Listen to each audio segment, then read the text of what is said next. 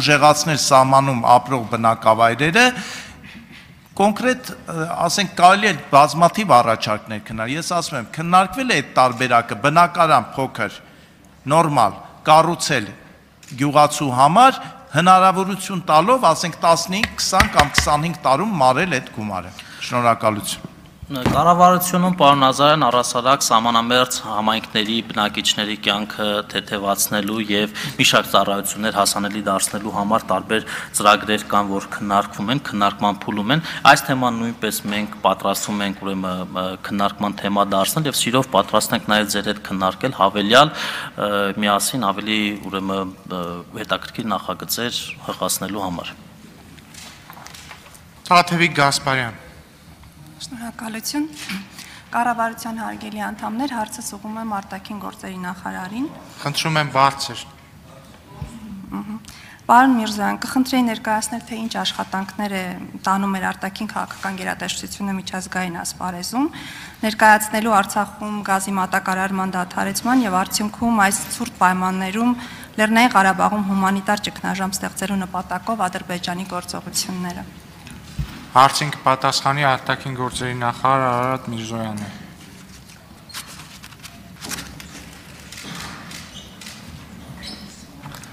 Բարև ձեզ հարգելի խորհրդարան, հարգելի Տիկին Գասպարյան, շնորհակալություն հարցի համար։ Ինչպես առաջին անգամ գազամատակարարման այդ խափանման դեպքում, այնպես էլ ահա այս երկրորդ անգամ նույն մատակարարման խափանման դեպքում մենք անմիջապես գործի ենք դրել մեր բոլոր ջանքերը, բոլոր դիվանագիտական հնարավոր ջանքերը։ Նախ եւ առաջ իհարկե մենք սերտ կապի մեջ ենք եւ բարբերական կապի մեջ ենք ռուս գործընկերների հետ, ռուսաստանցի գործընկերների հետ, որովհետեւ գիտեք, որ վթարը կամ այս դեպքում արդեն པարս չի, ինչպես դրան անվանել, վթար չի ըստ երևույթին ամեն դեպքում վնասված կամ փակված տեղանքը գտնվում է խաղապահների պատասխանատվության գոտում եւ առաջնային մեր կապը իհարկե ռուսաստանյան գործընկերների հետ է, բայց նաեւ ողջ մնացյալ քաղաքակիրթ աշխարհի հետ պետք է ասեմ, որ նախ տեղյակ եք երևի 3 ԱԳՆ հայտարարություն է տարածել, բացի դրանից նոտա են հղվել մեր բոլոր միջազգային գործընկերներին տեղ ունեցածի մասին եւ արձագանքներ արդեն ստացվում են նախորդ անգամ երբ մի քանի օր տևեց ըստ էության 8 օրից ավել չկար չէին թույլ տալիս իսկ արդեն աշխատանքները սկսելուց հետո 2-3 օր էլ այդպես ցկվեց այդ ընթացքում նաև վարչապետն է խոսել եւ ԱՄՆ պետքարտուղարի հետ եւ Ռուսաստանի Դաշնության նախագահի հետ եւ Ֆրանսիայի Հանրապետության նախագահի հետ եւ նաեւ արտաքին գործերի նախարարությունը իր հերթին իրեն հասանելի բոլոր օղակներով եւ խողովակներով նույնը եւ այս անգամ արդեն արձագանքները տեսնում ենք նաև մեր ջանքերի արդյունքում են այդ արձագանքները ցավոք սրտի տեղում կոնկրետ դեռ հարցը լուծված չի արձագանք չունենք արձագանք Թադևոս Ավետիսյան Շնորհակալություն հարցս վերաբերում է աշխատանքի եւ սոցիալական հարցերի նախարարին տեսեք ձեր կառավարության նախընտրական ծրագրով դուք սահմանել եք թիրախ, որ մինչև 2026 թվականը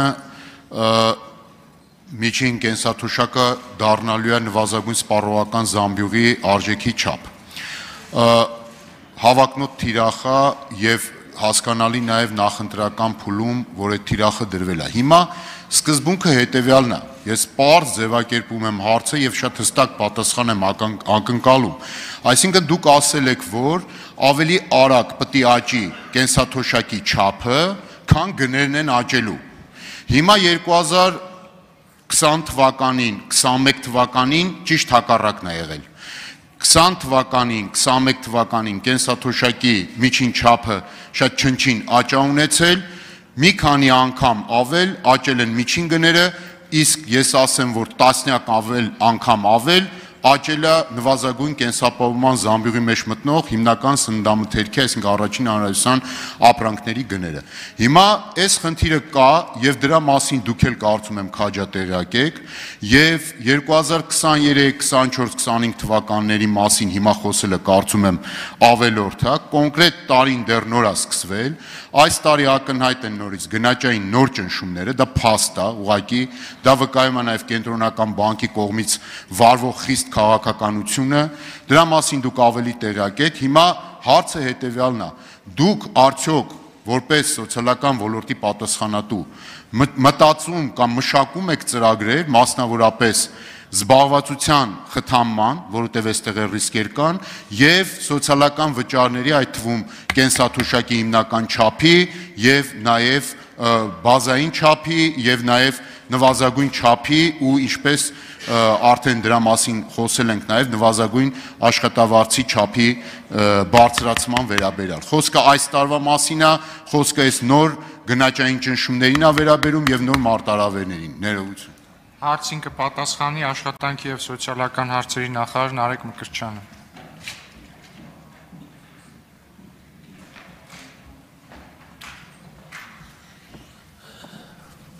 Պարոն Ավետիսյան, շնորհակալություն հարցի համար։ Մենք առիթ ենք ունեցել այս թեմայով մի քանի անգամ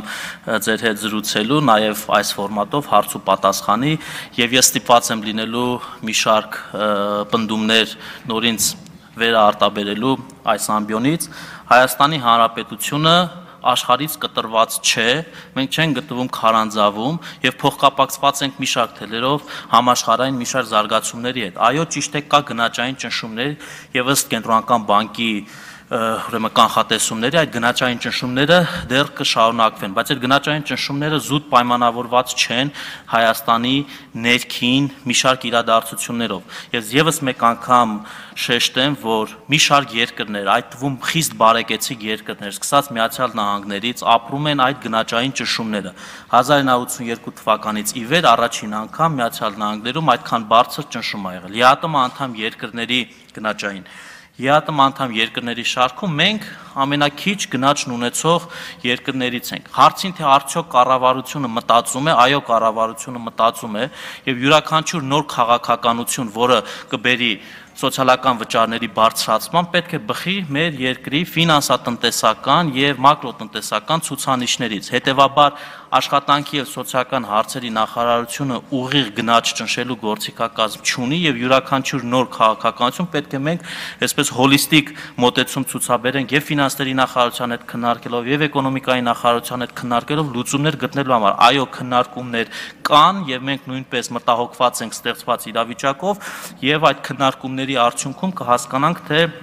2000 21-26 թվականի կառավարության ծրագրի մեր ուղենիշները, որ սահմանված է, որին մենք անպայման կհասնենք, ավելի շուտ կարող ենք անդրադառնալ այդ ցուցանիշներին, թե ոչ,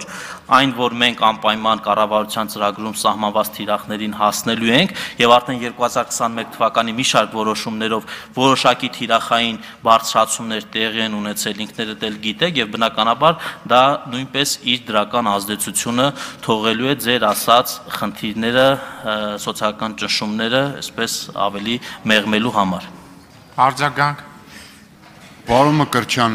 ձեր պատասխանը իմ հարցին չէր վերաբերում եւ կարծես թե ոչ թե աշխատանք եւ սոցիալական հարցերի նախարար, այլ օրինակ ֆինանսների նախարար կամ կենտրոնական բանկի նախագահն էր պատասխանում։ Պարզա, ով ա ձեզ ասում գնաճը ճնշեք։ Գնաճը կա փաստա, լավ վատ պայքարում է կենտրոնական բանկը։ Խնդիրը հետեւյալն է, ձեր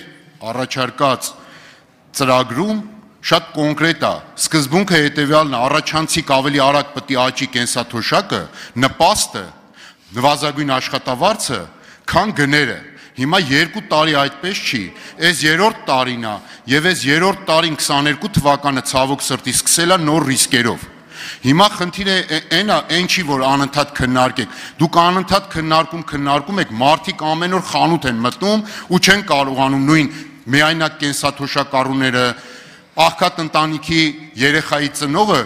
ավելի վատ առևտուրա կարելի քիչ առևտուրա կարում անի ամեն հաջորդ ամիս, քան նախորդ ամիս։ արագ գործողություններ են պետք, իդեպ օրինակ Ռուսաստանի Դաշնությունը թե հունվարի 1-ին է բարձրացրել թոշակը, թե նաև պատերազմի մեջ գտնվելու ընթացքում նաև հիմա է նախատեսում սոցիալական վճարների բարձրացում։ Այդպիսի օրինակներ ԵԱՏՄ-ում շատ կան։ Խոսքը սրան է վերաբերում։ Պարոն Ավետիսյան, մենք նույնպես բարձրացումներ իրականացրել ենք։ Ես այնքան եմ ուրեմն այդ օրինակները ստիպված եւ այս ամբիոնից եմ բարձրացրել եւ ձեր գլխադասային հանձնաժողովում ենք քննարկել, ներկայացրել եմ բնականաբար։ Այո, քննարկումները շատ կարեւոր են եւ հաճախ միանգամից որոշումներ կայացնելը, սկսած նվազագույն աշխատավարձի, այսպես կտրուկ բարձրացումից առանց լուրջ հետազոտությունների, հիմքերի, փաստերի ներկայացման, միգուցե դա երկարատև, երկարաժամկետ կտրվածքում ավելի շատ խնդիրներ առաջացնի մեր քաղաքացիների համար, դրա համար մենք կարևորում ենք քննարկումների արդյունքում եւ մեր մակրոտնտեսական, ֆինանսատնտեսական ցուցանիշների հետ հաշվի նստելով գնալ առաջ եւ բնականաբար գտնվում է մեր առաջնահերթությունների շարքում խնդիրները ուրեմն ըստ հավուր պատշաճի լուծումներ խնդիրներին տալու, որը որ պետք է բխի բացառապես Հայաստանի Հանրապետության կառավարության ուրեմն ծրագրի շրջանակներից։ Շնորհակալություն Արուսակ Ջուլհակյան։ Շնորհակալ եմ կառավարության հարգաժան անդամներ, հարգելի գործընկերներ, իմ հարցը ուղղված է Հայաստանի Հանրապետության արտաքին գործերի նախարարին։ Հարգաժան պարոն Միրզոյան, խնդրում եմ տեղեկացնել, թե արդյոք Հայաստանը ստացել է արձագանք ԵԱՀԿ Մինսկի խմբի համանախագահությունից Հայաստանի եւ Ադրբեջանի միջև խաղաղության պայմանագրի կնքման նպատակով բանակցություններ կազմակերպելու դիմումին ի պատասխան Դուք նաև նշել եք, որ Հայաստանը պատասխանել է Ադրբեջանի 5 կետանոց առաջարկներին։ Ես ձեզ խնդրում եմ եւս մեկ անգամ ներկայացնել մեր պատասխանի մանրամասները, ինչպես նաև խնդրում եմ տեղեկացնել, թե արդյոք մենք ունենք արձագանք Ադրբեջանից իրենց առաջարկին մեր պատասխանի վերաբերյալ։ Շնորհակալ եմ։ Հարցին կպատասխանի արտաքին գործերի նախարար Արարատ Միրզոյանը։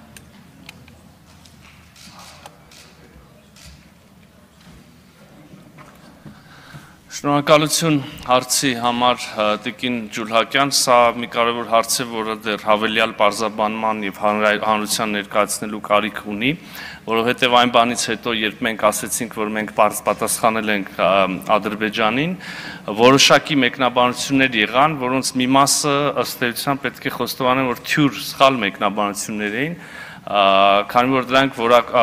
գնահատական այնպեսին էր թե Հայաստանը մերժել է Ադրբեջանի առաջարկները ես ուզում եմ ասել որ Ադրբեջանի առաջարկներում Հայաստանի համար անընդունելի ոչինչ ըստեյության չկա այլ բան որ դա այդ առաջարկները ամբողջովին չէին հասցեագրում ողջ բանակ պոտենցիալ հնարավոր բանակցությունների ողջ օրակարգը եւ ահա համապարփակ խաղաղության համար մենք լրացրել ենք, համալրել ենք մեր առաջարկներով օրակարգի եւ փոխանցել ենք ՀՀԿ Միսկի խմբի համանախագահությանը համանախագահությունից ինձ անդամ երկրներից համանախագահողներից ինձ տեղեկացրել են որ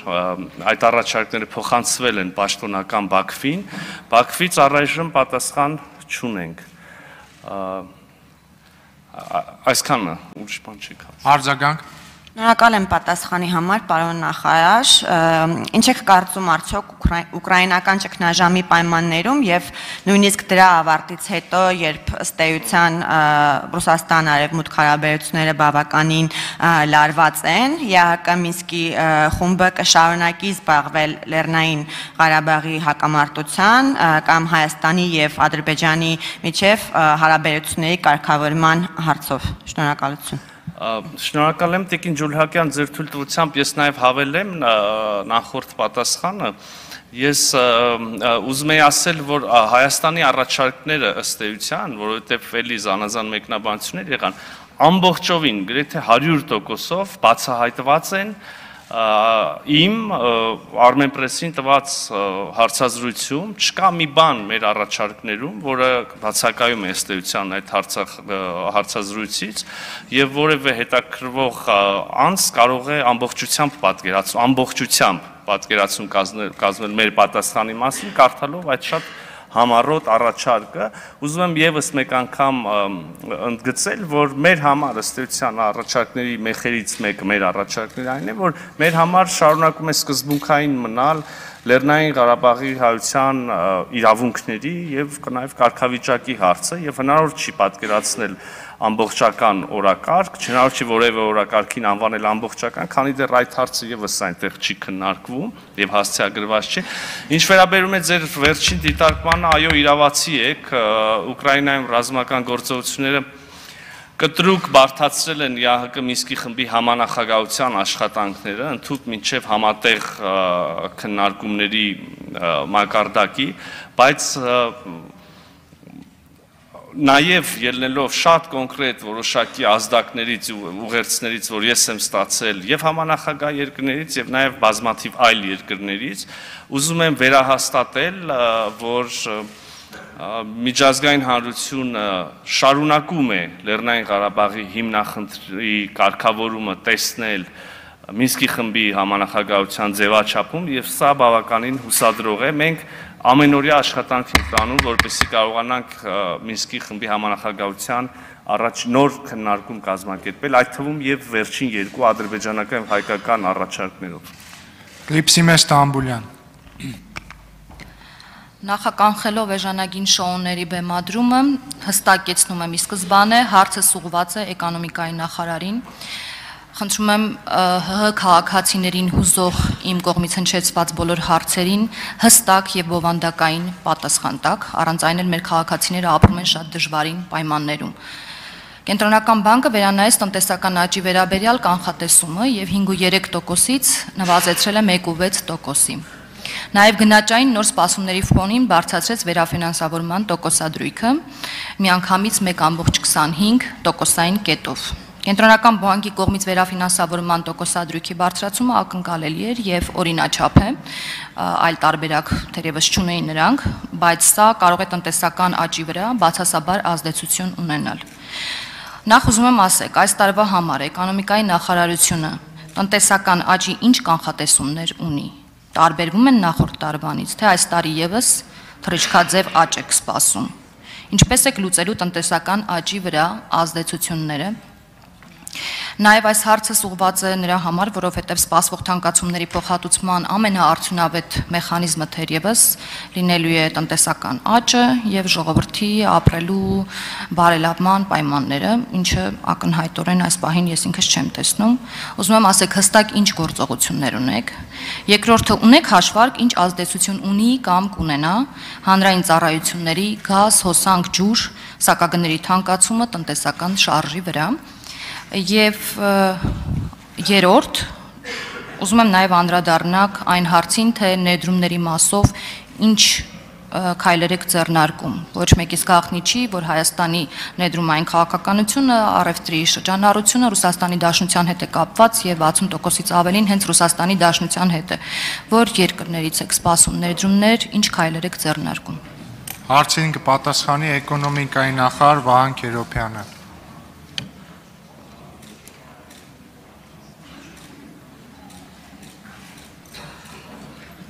Շնորհակալություն հարցի համար։ Տնտեսական աճի կանխատեսում չէ, բայց տնտեսական աճի թիրախ, գիտեք, Հայաստանի Հանրապետության կառավարությունն ունի եւ դա 7% է։ Այս բանին մեր աշխատանքը ձևավորում ենք հենց այդ թիրախի շուրջ, անկախ նրանից, որ թե արժույթի միջազգային հիմնադրամը, թե կենտրոնական բանկը, թե Fitch-ը, գիտեք, երկու օր առաջ նվազեցրել են իրենց կանխատեսումները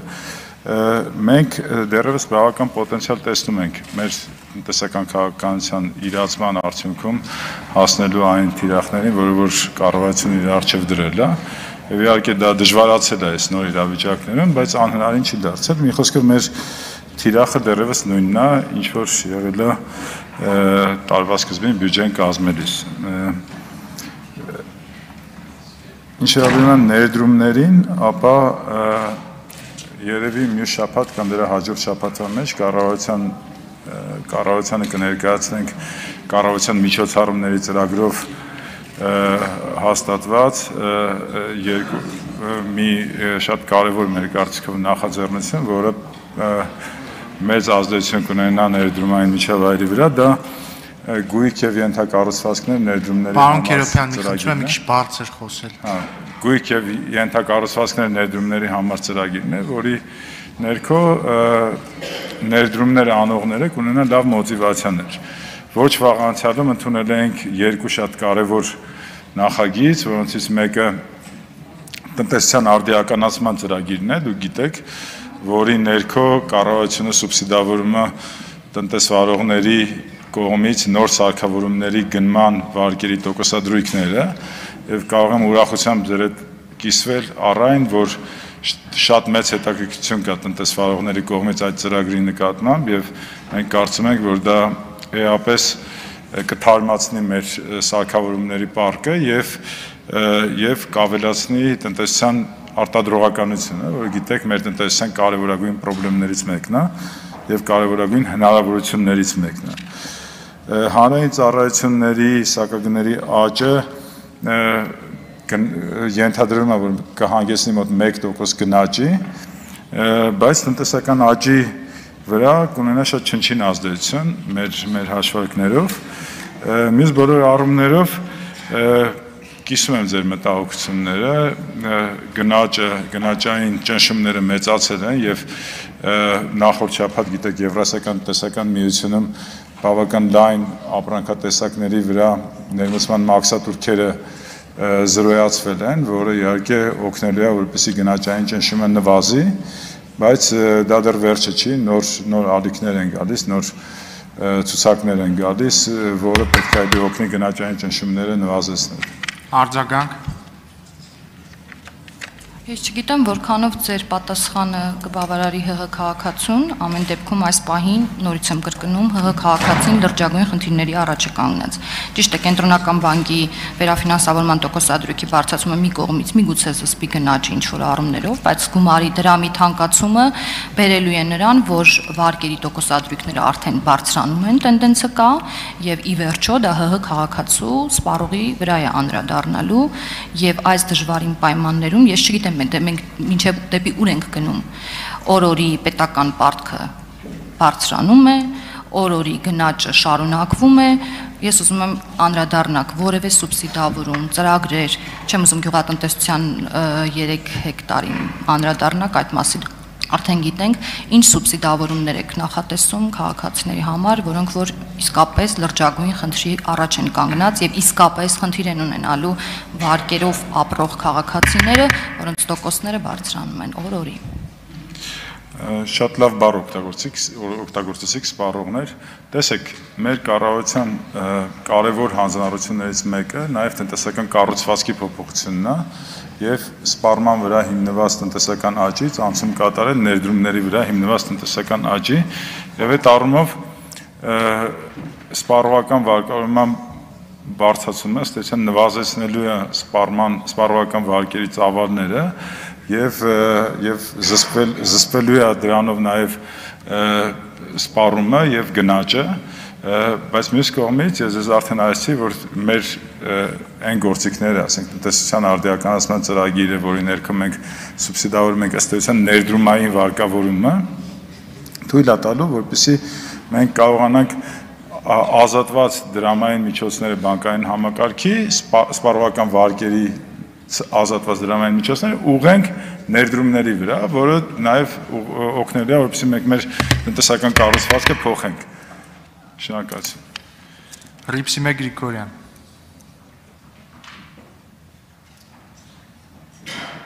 Շնորհակալ եմ։ Հարցը ցանկանում եմ ուղղել արտաքին գործերի նախարար Արարատ Միրզոյանին։ Պարոն նախարար, օրերս արտաքին հարաբերությունների հանձնաժողովում ձեր զեկույցում ներկայացրիք Անտալիայի դիվանագիտական ֆորումին ձեր մասնակցությունը եւ մասնավորապես ձեր հանդիպումը խոսեցիք ձեր հանդիպման մասին Թուրքիայի արտգործնախարար Մևլութ Չավուշօղլուի հետ եւ ես կցանկանայի խնդրել ձեզ որպեսզի մանրամասնեիք ինչ սպասումներ ունեք այս գործընթացից արդյոք ունեք դրական սպասումներ երբ է նախատեսվում Հայաստանի եւ Թուրքիայի հատուկ ներկայացուցիչների հանդիպումը հաջորդ որտեղ շնորհակալ եմ Հարցին կպիտ պատասխանի արտաքին գործերի նախարար Արարատ Միրզոյանը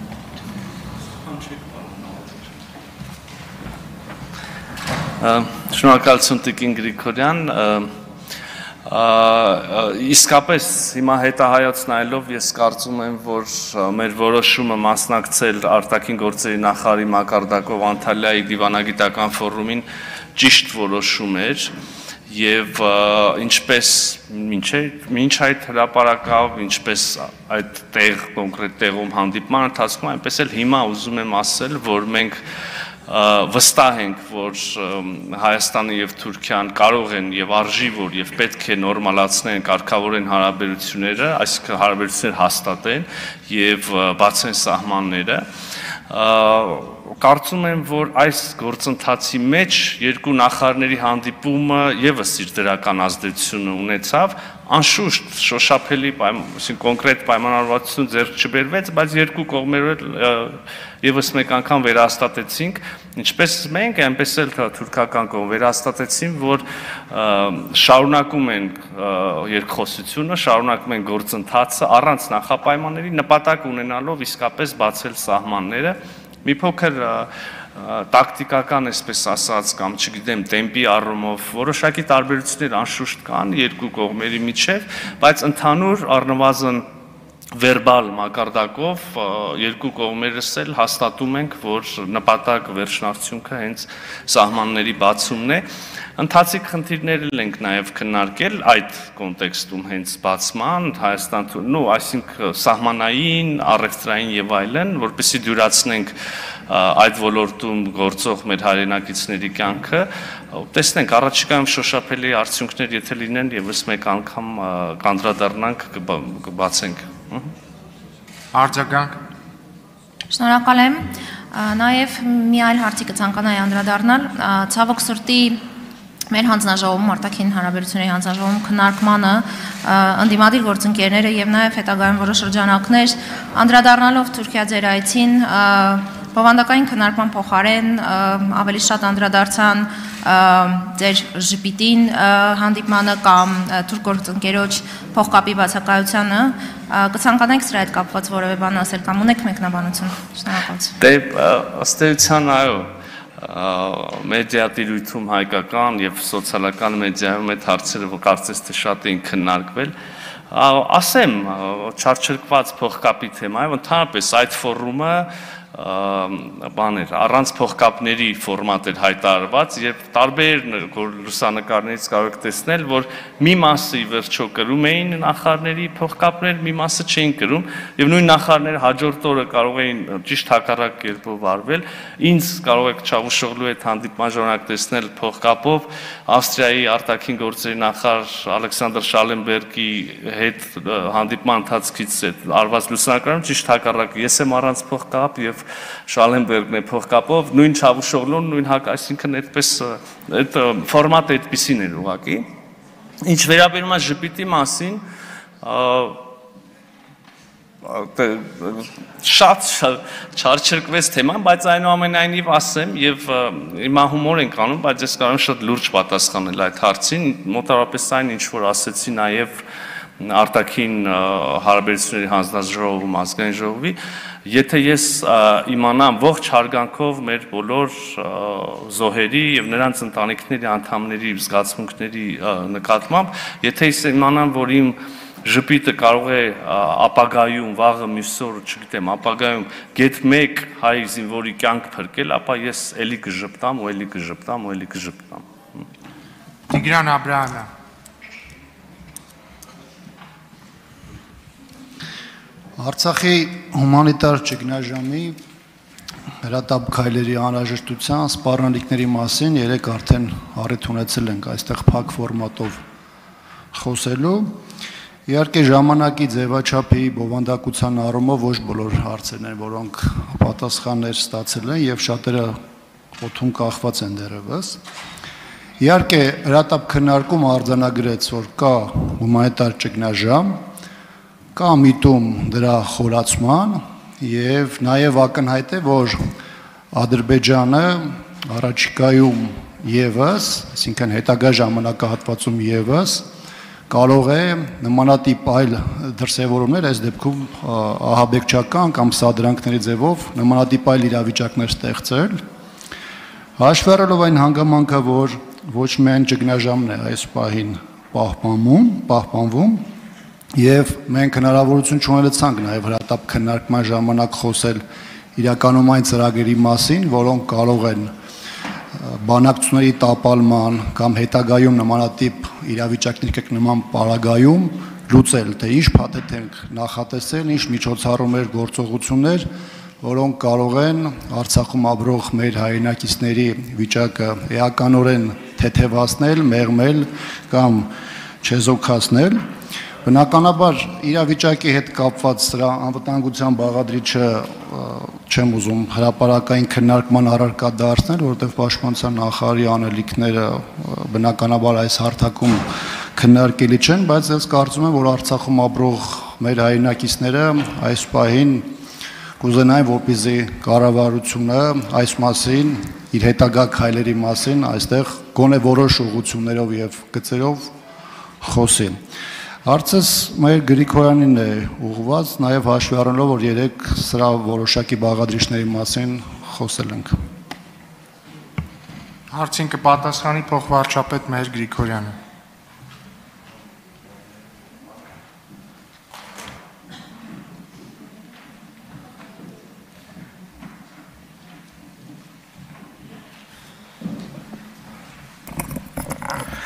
Շնորհակալություն հարցի համար, պարոն Աբրահամյան։ Ես երեք առիթ ունեցա ասեմ,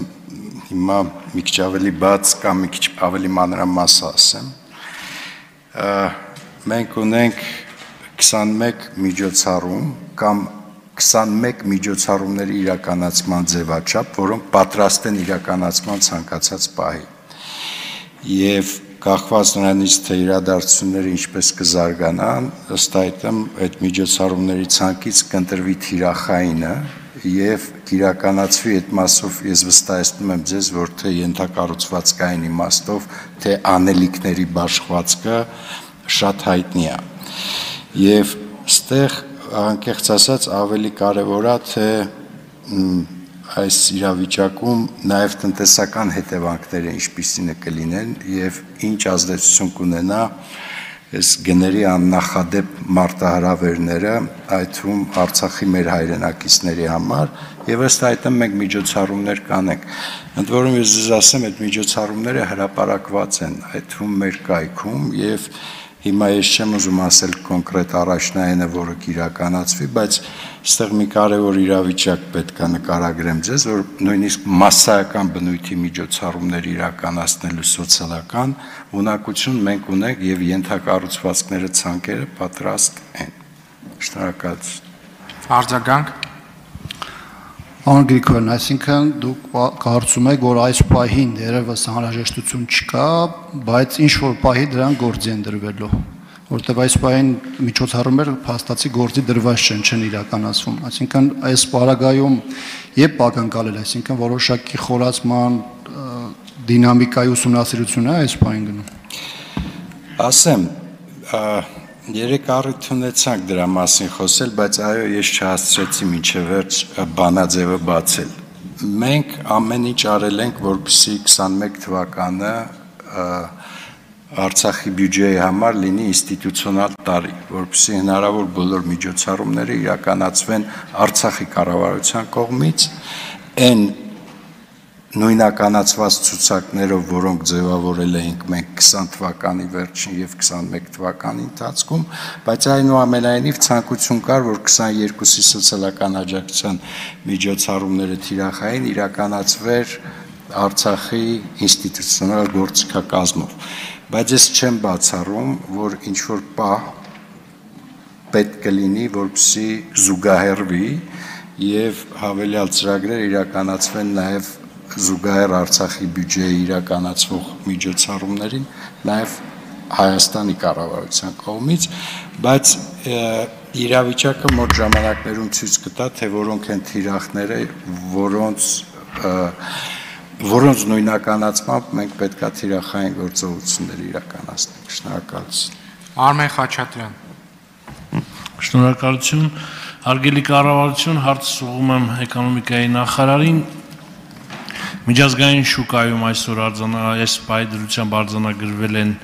դիզելային վառելիքի եւ պարտանյութերի գների աննախադեպ աճ եւ իհարկե սա ուղղակիորեն ազդելու է նաեւ մեր գյուղատնտեսությամբ զբաղվողների վիճակի վրա։ Ուզում եմ իմանալ եւ հանրությունը նաեւ հանրությանը տեղեկացվի, թե գյուղատնտեսությամբ զբաղվողների բեռը, որը աննախադեպ աճել է, ինչ միջոցառումներով են թեթևացվելու եւ այս պահի դրությամբ այդ ծրագրերի կատարումը որտեղ է հասել եւ ինչ արդյունքներ կունենանք։ Շնորհակալություն։ Հարցին կպատասխանի էկոնոմիկայի նախարար Վահան Քերոբյանը։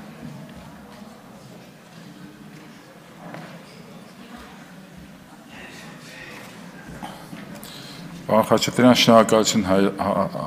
հարցի համար մոտարապես երկու շաբաթ առաջ կառավարությունը ընդունեց պարտանյութի սուբսիդավորման ծրագիրը, համաձայն որի կառավարությունը սուբսիդավորում է պարտանյութի ազոտական, կալիումական եւ ֆոսֆատային պարտանյութերի գների 50%-ը, բայց ոչ ավել քան 9000 դրամը։ Մենք գիտենք, որ բոլոր համայնքներում արդեն հավաքվել են պահանջարկը եւ հայտերը տրամադրվել են մատակարարներին եւ գործընթացը մեր իմանալով սահուն կերպով ընթանում է իհարկե գները մի քիչ ավելի բարձր են ստացվել որոշ տեղերում քան 18000 դրամը, այսինքն մենք սուբսիդավորում ենք 50%-ից մի փոքր ավելի պակաս գումար, բայց ընդհանուր առմամբ պարտանյութի մասով կարծում եմ կառավարությունը, այսպես ասենք, հնարավորինս ամեն ինչ արել է, որպեսզի պարտանյութը էժան գնով հասնի գյուղացիներին։ Այստեղ իհարկե սահմանափակում ենք դրել մինչև 3 հեկտար հողատարածք ունեցող գյուղացիներին նասա վերաբերվում, որովհետև կարծում ենք, որ ավելի բարձր, ավելի մեծ չափի հողատարածքներ ունեցողների համար արտադրողականությունը այնքան բարձր կլինի, որ ասենք նույնիսկ բարձր պարտանյութի գների պարագայում իրենք ունենան վերջնական արտադրանքի գների աննշան աճ, իսկ մյուս կողմից էլ հաշվի առնելով այն, որ պարենային անվտանգության մակարդակը, այսպես ասած, կամ պարենի պահանջարկը աշխարհում կտրուկ բարձրացել է եւ ենթադրվում է, որ սպառման առումով որևիցե խնդիր չի լինի, նույնիսկ ենթադրվում է, որ վաճառքի գների էական բարձրացում կլինի, կարծում ենք, որ այն ավել գումարը, որը որը խոշոր ֆերմերները ծախսելու են պարտանյութի եւ դիզելային վառելիքի ձեռքբերման համար, վաճառքի փուլում ամբողջությամբ եւ ավելին քան ամբողջությամբ կփոխհատուցվի եւ իրենք ի վերջո կունենան եկամտաբեր գյուղատնտեսական տարի։ Արձագանք Շնորհակալություն մտահոգությունը գյուղացիներից ստացվող կանոն է դրանում, որ պարտանյութը ժամանակին տեղ հասնի եւ երբեւե ճուշացվի։ Փաստորեն դիզվառելիքի մասով մենք ծրագրեր չունենք, այո, որտեղ դիզվառելիքներն են բավականին լուրջ խնդիր համարում ընդհանրապես կա։ Շնորհակալություն, այո, դիզվառելիքի համար այսպես առանձին ծրագիր չունենք, բայց գիտեք կառավարությունը ունի մի շարք գյուղատնտեսական գյուղատնտեսական աջակցման ծրագրեր, այդ թվում 3-ից 15 միլիոն դրամանոց գյուղատնտեսական աշխատանքների համար նախատեսված վարկերի սուբսիդավորման ծրագիրը, որի ներքո վարկերը գյուղացիներին հասնում են մոտավորապես 5%-ով, տարեկան տոկոսադրույքով եւ կառավարությունը սուբսիդավորում է էական մասը այդ վարկերի եւ այդ գումարը կարելի է օգտագործել տարբեր նպատակների համար, այդ թվում նաև դիզվառելիք ձեռք բերելու համար։ Ինչ հրավերում է պարտանյութի մատակարարմանը, ապա իմ գործընկերները եւ ես ուշի ուշով հետևում ենք, որպեսզի հանկարծ գյուղատնտեսական սեզոնի սկզբին որովից այդտեղ դեֆիցիտ չլինի եւ կարծում ենք, որ չի լինի։ Շնորհակալություն։ Շնորհակալություն Արմենուի Կյուրեղյան։ Անկեղծ ասած, իմ հարցը ես նախապատրաստել էի նախորդ հարցու պատասխանին, բայց քանի որ ոչ այս դահլիճին, ոչ այս ամբիոնին, ոչ էլ ընդհանրապես որևէ երկրի վարչապետին հարիր վարկագից դրսևորվեց անհանդուրժող անհավասարակշիռ վարչագից եւ այդ ամեն ինչը հետաձգվեց եւ հարցս ես պետք է ուղեի կրթության գիտության նախարարին այսօր ես ստիպված եմ հարցս վերաձևակերպել եւ վերահասցեավորել մասամբ եւ ուղում եմ հարցս աշխատանքի եւ սոցիալական հարցերի նախարար պարոն Մկրտչյանին Ուրեմն երբ ես նախարարությունից կրթության գիտության խնդրել էի եւ ստացել եմ տվյալներ պետական բուհերի պրոֆեսորադասախոսական կազմի սերատարիքային բաշխվածության եւ ամսական միջին աշխատավարձերի մասին ճիշտ որ ասեմ ես վատ դաժան տվյալներ էի պատկերացնում, բայց ստացածս տվյալները շատ ավելի դաժան են, որpիսի ճշտեմ ասեմ։ Նայեք, մինչև 30 տարեկան պետական բուհերում դասախոսական կազմում 549 դասախոս 64-ից մեծ 1835 Սա արդեն խոսում է ծերացման մասին պրոֆեսորոտ ասախոսական կազմի։ Ուրեմն գիտությունների տեխնացուի աշխատավարձը, միջին աշխատավարձը 117000, դոկտորինը 135000, գիտությունների տեխնացու դոցենտինը 141000, դոկտոր պրոֆեսորինը 228000։ Այսինքն այս են տվյալներ են, որոնք նաև հանրապետական միջին են եւ իրենց մեջ ներառում են Երևանի բուհերը։ Եթե Երևանի բուհերի տվյալներն էլ հանենք, պատկերացնում եք մարզերում դեպքում այս տվյալները ինչքան ավելի ցածր են, ու ինչքան ավելի խնդրահարույց։ Հիմա ակնհայտ է, որ բուհերում պրոֆեսորադասախոսական կազմի երիտասարդացման խնդիրը լուծում է պահանջում եւ առաջնահերթ լուծում։ Ինչպիսի սոցիալական երաշխիքներ եք, դուք հարցս միգուցե լսեք ինչ հարց եմ տալու։ Ինչպիսի սոցիալական երաշխիքներ եք պատկերացնում, արդյոք հնարավոր են որոշակի սոցիալական երաշխիքներ ապահովել այս դասախոսական գազմի համար երիտասարդների մուտքը դեպի այդ ոլորտ գայթակղելու համար եւ արդյոք սոցփաթեթների ներդրման հնարավորություն կա գոնե 23 թվականից պրոֆեսորադասախոսական գազմի համար։ Հարցին կպատասխանի աշխատանքի եւ սոցիալական հարցերի նախարար Նարեկ Մկրտչյանը։ Շնորհակալություն Տիկին Գյուրեղյան, նախ սոցփաթեթից սկսեմ, ասեմ, որ գիտեք, որ մենք նախորդ տարի որոշակի փոփոխություններ կատարեցինք եւ սոցփաթեթի շահառուներին տրվող, այսպես ծառայությունները հնարավորինս ընդլայնեցինք եւ սոցփաթեթի շահառու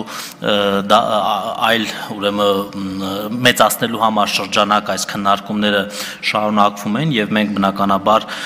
քննարկում ենք դրա շրջանակը մեծացնելու հնարավորությունները եւ նաեւ շահագրգիռ այսպես կառույցների հետ են այդ քննարկումները շարունակվում։ Ինչ վերաբերվում է գիտական, հետազոտական, այսպես համալսարանական տարբեր ինստիտուտներում մեր գիտապրոֆեսորական դասախոսական կազմի աշխատակիցների, պրոֆեսորների, դասախոսների աշխատավարձերի եւ սոցիալական երաշխիքների բարձրացման թեմային, այո, դա շատ կարեւոր թեմա է։ Ինքս նաեւ այսպես մասամբ նաեւ ներկայացնում եմ այդ ինստիտուտը, դասավանդում եմ եւ նաև դասավանդել եմ եւ Երևանի պետական համալսարանում եւ Հայաստանի ամերիկյան համալսարանում շատ լավ հասկանում եմ խնդիրը։ Գիտեք, որ պետությունը գիտության ֆինանսավորումը այսպես 85%-ով մեծացրել է եւ դա էական նշանակություն բնականաբար ունի եւ մեծապես նպաստելու է սոցիալական երաշխիքների ուրեմն բարձրացման, ինչպես նաեւ աշխատավարձերի բարձրացմանը, այսինքն սա պետք է դիտարկել նաև այս համատեքստում, որ պետության քաղաքականությունը այս որոշումը միտված է նաև ձեր բարձրացրած խնդիրների լուծմանը։ Արձագանք Պարոն Մկրտչյան, հարցը նրանում է, որ այո, միգուցե հետազոտությունների բնագավառում կամ գիտության բնագավառում երիտասարդների մուտքը այսօր շատ ավելի մեծ է, քան պրոֆեսորադասախոսական կազմի։ Եւ երբ որ օրինակ ես մեկը իմ ուսանողին ասում եմ ավարտելուց հետո փորձում ենք ընթառաջել եւ մտնի նաբու, հա, ասում եմ կներեք, ասում են Կեր Գյուրեղյան, ձեր աշխատավարձը բուհի դասախոսի ես ստացել եմ երրորդ կուրսից սկսած այդ հետազոտական կազմակերպություններում աշխատելու եւ կրկնակին ոչ միայն ձեր աշխատավարձը։ Այսինքն մենք պետք է շահագրգռենք, որ երիտասարդը դասախոսական կազմը լրացնի գիտության եւ հետազոտական ինստիտուտների կազմ կազմը մասամբ էլի լրացվում է եւ արդյոք այդ սոցփաթեթի մեջ ներառելու հարցը կարող ենք անել օրենսդրորեն թե կառավարության որոշումով գոնե 23 թվականից այդ հարցը իսկապես պետք է առաջնահերթ լուծվող խնդիրներից մեկը լինի եւ մի հարց եթե կարելի է նորից ուրեմն 18 մենք բոլորս գիտենք ուղակի հարց կարող եք չպատասխանել 18 տարեկան գիտենք որ աշակերտներ ունենք շատ 12-րդ դասարանում ավակ դպրոցում նրանցից մի մաս մասը, փաստորեն աշակերտները 18-ը լրացել է, մյուս մասը չի լրացել։ Մյուս մասին ու բոլ նրանք աշակերտներ են։ Բուհ դիմելիս բժշկական տեղեկանք ներկայացնելու համար փաստորեն մինչև 18 տարեկան աշակերտները չեն վճարում այդ տեղեկանքի համար, իսկ բուհ չդիմո 18 տարեկաններից բարձրները փող են վճարում դրա համար։ Միևնույն դասարանի, միևնույն նստարանի աշակերտներ, արդյոք դա խտրականություն չէ։ Տիկին Գյուրեղյան ձեր հարցի երկրորդ հատվածին չպատասխանեմ, որովհետև դետալների չեմ տիրապետում, միգուցե գրավոր ներկայացնեք կառավարությանը։ Ինչ վերաբերվում է սոցփաթեթի հնարավոր ուրեմն սոցփաթեթի շրջանակը ընդլայնելուն, այո, մենք դա քննարկում ենք եւ դա գտնվում է մեր օրակարգում մի շարք գիտահետազոտական ինստիտուտների համալսարանների դա քննարկման փուլում է եւ մենք առաջիկայում կարողանանք որոշակի պատկեր ունենալ իսկ ինչ վերաբերվում է համալսարանները ավելի երիտասարդ կադրերով դասախոսներին այսպես համալրել դա միայն Հայաստանում այդ խնդիրը չի դա ուրեմն գլոբալ խնդիր է նաեւ պետք է ներքին որոշում ունենա երիտասարդը հետազոտողը մտնել լսարան եւ բնականաբար դասավանդել։ Այսպես շուկան նաև ազատ է Հայաստանում կան համալսարաններ, որտեղ որ համեմատած մի շարք, այսպես մրցակցություն կա եւ կարող են դասավանդման համար այդ իրենց վարձատրությունը փոխհատուցել նաև գիտահետազոտական կենտրոնը, որտեղ չի կարող լինել դասախոս, առանց գիտահետազոտական փորձառության։ Դա ուղղակի կլինի կրկնուսույց, որը ինչ որ այսպես անգիր արած կմտնի լսարան եւ կփորձի դասավանդել։ Այսինքն նաեւ դա բնական է, երբ որ դասախոսը զբաղվում է գիտահետազոտական աշխատանքով, նաեւ փոխհատուցելով իր ուրեմն աշխատանքը։ Աղվան Վարդանյան Շնորհակալ եմ։ Հարց արտաքին գործերի նախարարին։ Պարոն Միրզոյան, Դուք Armenpress-ին մարտի 15-ին տված հարցազրույցում ասել եք. մեջբերում եմ. Ադրբեջանի հետ խաղաղության պայմանագրի շուրջ բանակցությունները պետք է ընթանան առանց նախապայմանների։ Ադրբեջանի առաջարկում նշված կետերը ամբողջությամբ չեն արտացոլում արկա խնդիրների ողջ օրակարգը։ Այս պահին ձեր որոշ մեղմ ասած խնդրահարույց ձևակերպումներին չեմ անդրադառնա։ Տեսականորեն պատկերացնենք,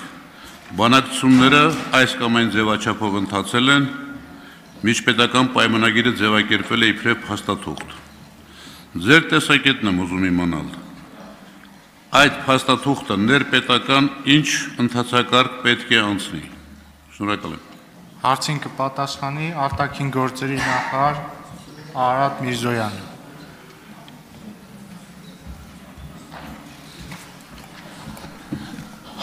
Պարոն Վարդանյան, ես էլ երբեմն ունենում եմ գայթակղություններ, բայց զսպում եմ ինձ չանդրադառնալ ձեր զանազան խնդրարույց ձևակերպումներին, նույնը կանեմ եւ հենց հիմա։ Կարծում եմ այնուամենայնիվ ձեր հարցի, բուն հարցի, եթե ակնարկները եւ ենթաշերտերը հանենք, բուն հարցի հասցեատերը երևի թե արդարադատության նախարարը պետք է լիներ, ենթադրել կարող եմ, որ բոլոր այն ընդհանցակարգերով, որոնք սահմանված են, այսինքն պայմանագիրը միջպետական պիտի գա ազգային ժողով ավերացման։ Արձագանք Չկա։ Միացեք խոսափողը Աղվան Վարդանյանի։ Շնորհակալ եմ։ Խնդրարույց բառին չեմ անդրադառնա, որովհետև տեղը չի եւ հարցս այդ նպատակը չուներ։ Մենք ունենք իրավիճակ, երբ որ Ադրբեջանը նաեւ ներխուժել է Հայաստանի ինքնիշխան տարածք, որ պիտի նման փաստաթղթերը միջպետական գան համանդրական դատարան այնուհետև ըստ գան խորհրդարան հաստատվելու հասկանալի է։ Ես արդարության մոտեցումը գիտեմ, օրենքները գիտեմ։ Ես սուտ ձեր տեսակետն եմ ուզում հարցնել։ Հնարավոր է այնպեսի վիճակ ստեղծվի, որ մենք նաև մտածենք հանրակրվեի մասին։ Շնորհակալ եմ։ Ան Վարդան, անկեղծ ասած, հարցը նոր իմ համար, պետքա մտածել, բացառել չեմ կարող ոչինչ, այսինքն սկզբունքային բան չկա բացառելու։ Բազմաթիվ հանգամանքներից է կախված։ Բաբկեն Թունյան։ Անում եմ հարցը։ Անում եք հարցը։ Հայկ Մամիջանյան։ Հարցը սովված է Կարեն Անդրեասյանին, արդարադատության նախարար։ Ես իրավաբան չեմ, բայց նույնիսկ իրավաբան չլինելով Վենետիկի հանձնաժողովի վերջին հրապարակած կարծիքը դատավորների օրինագծի հետ կապված ավելի շատ նման էր առաջին կուրսի իրավաբանականի ուսանողի, ընդ որում ոչ այդքան լավ սովորող ուսանողի կուրսային աշխատանքի ստուգման։ Ակնհայտ երևում էր, որ դա անգրագետ օրինագիծ էր, բազմաթիվ կետերով իրենք հստակորեն նշեցին, որ ոչ թե անհամատեղելիության նոր հիմք է, այլ մահակ կամ մուրջ է դառնալու դա դատավորների համար հստակ նշվեց, որ մարդու իրավունքների եվրոպական դատարանը չի կարող արձանագրել դա առանձին դատավորի անհատական մեղքը հատյանների տրամաբանության մեջ։ Էլ չեմ ասում համանդրության 73-րդ հոդվածը, որ հետադարձ ուժ ունենալ չի կարող վատ տարածնող օրենքը։ Հիմա ես շարքը կարող եմ շատ երկար շարունակել։ Իմ հարցը կանում էր հետևյալում, պարոն Անդրեասյան։ Դուք երբ ներկայացնում էիք այդ օրինագիծը, դրա դրամաբանությունը կանում էր իրապես սпасել դրական արձագանք, թե դա ընդհանրը խոստացված, բայց չիրականացված ռեֆորմների պատրանք ստեղծելու նպատակ ուներ։ Իմիջալոց պարոն Անդրեասյան, հաշվի առնելով ձեր նախասիրությունները, ես կարող եմ Նիկոլ Փաշինյանի լուսանկարը այսպես պահեմ, որ անաչառ ու անձնիվ պատասխանեք ըստ ձեր ինտերվյուի դուք մենակ այդ դեպքում եք անաչառ ու ազնիվ խնդրեմ Պարոն Մամիջանյանի հնարամիտ եւ ուրախ հարցին կպատասխանի արտահայտության նախարար Կարեն Անդրեասյանը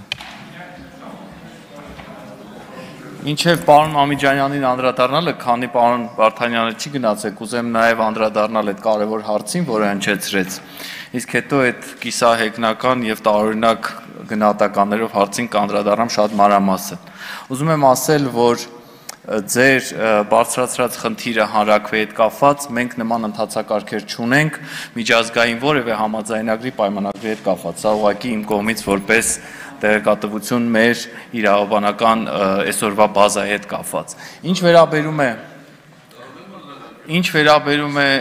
մյուս անգամները կզրուցենք այդ թեմայով եւ ավելի մանրամասն կարող ենք քննարկել, ես ձեզ ներկայացրեցի այսօրվա ընթացակարգերը պայմանագրերի համաձայնագրերի հետ կապված։ Ինչ վերաբերում է պարոն Մամիջանյանի ուրեմն այդ դիտարկումներին, սկսեմ նրանից, որ մի կուրսայինի կամ ուսանողի մակարդակի, որ իրավաբան ունենայիք ձեր խմբակցությունում կամ ձեր թիմում, կկարողանայիք կարդալ Վենետիկի հանձնաժողովի կարծիքը բավական խելացի, բավական հիմնավոր, բավական լուրջ հարցերի մասին, որի թերևս ընկալման համար իսկապես լրջություն է պակասում անձամ ձեզ, պարոն Մամիջանյան։ Ինչ վերաբերում է մնացած խնդիրներին, ուզում եմ հանրությանը տեղեկացնել, որ մեր նախաձեռնությունը վերաբերում է խաղ բանտարկյալներ դատած դատավորներին, միեդի որոշումներով ապացուցված, ովքեր ապօրինություններ են թույլ տվել,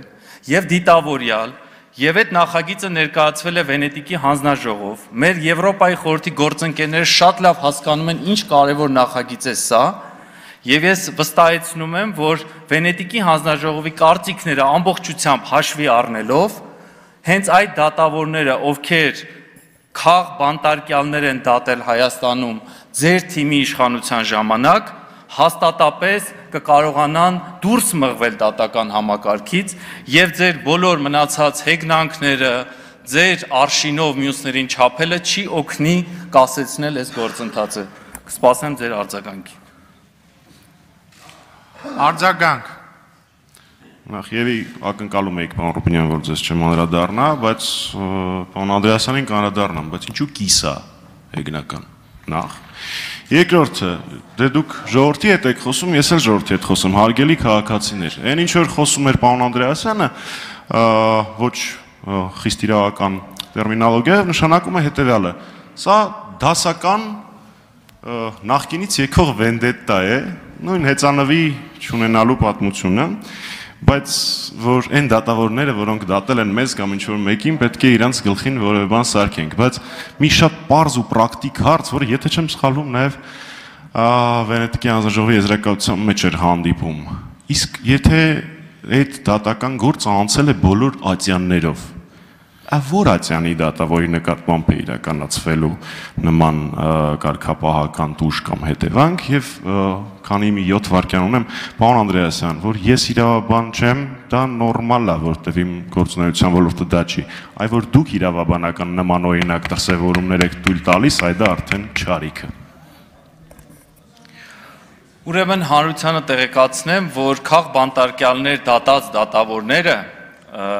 Սերժ Սարգսյանի իշխանության ժամանակ, նաև դրանից առաջ, ուրեմն դա մեր գնահատմամբ կամ իմ գնահատմամբ չեն եղել։ Մարդու իրավունքների եվրոպական դատարանը գտել է Ստրասբուրգի դատարանը, այն նույն մարմինները, որոնց դուք այդքան ակնածանքով հիմա մեջ բերում եք, գտել են, որ Հայաստանի դատարանները քաղ բանտարկյալներ են դատել եւ սա վենդետա չէ, սա արդարության վերականգնում է ընդ որում անկախ քաղաքական նախասիրություններից եւ ճաշակներից։ Եվ ինչ վերաբերում է իրավաբանական գիտելիքներին ու մնացածին, ես ձեզ իսկապես անկեղծորեն խորհուրդ եմ տալիս, պարոն Մամիջանյան, եթե կարդացել եք տեքստը, չեք հասկացել, անհարմար չէ։ Դիմեք մասնագետների ձեզ կբացատրեն։ Ես պատրաստ եմ նաև ձեզ համար տարական գիտելիքների լիգբես կազմակերպել, համեցեք մեր նախարարություն, մեր մասնագետները ձեզ կօգնեն։ Շնորհակալություն։ Լիլիթ Ստեփանյան Շնորհակալություն հարցս ուղում եմ տարածքային կառավարման եւ ենթակառուցվածքների նախարարին։ Վերջերս մարզային այցելությունների ժամանակ եղել եմ Կոտայքի մարզի Ֆանտան համայնքում խոսել բնակիչների հետ, լսել նրանց խնդիրները։ Իհարկե համայնքում խնդիրները բազմաթիվ են, բայց ամենահրատապը ռոռոկման համակարգի բացակայության հարցն է։ Վարչական ղեկավարի խոսքով կազմվել է նախագիծ շուրջ 46 միլիոն դրամ արժողությամբ եւ բնակիչները կարողացել են աշխատանքների մեծ մասը իրականացնել, մասնավորապես ջուրը բերել եւ հասցրել են գյուղ, սակայն արդեն համայնքի ներսում խողովակների անցկացման դեպքում հանդիպել են որոշակի խնդիրների։ Սույն հարցը բավականին հրատապ է նաև նրանով, քանի որ ռոռոկման սեզոնի ժամանակ բնակիչներից շատերը խմելու ջուրն են օգտագործում, ինչի հետևանքով այս անգամ էլ համայնքը շուրջ 6 ամիս 1-2 ժամ է ջուր ունենում։ Պարոն Սանոսյան, ինչ եք կարծում, կկարողանանք օգնել համայնքին, ինչ մեխանիզմով եւ ինչ ծրագրով։ Հարցին կպատասխանի գնել Սանոսյանը, ամեցեք պարոն Սանոսյան։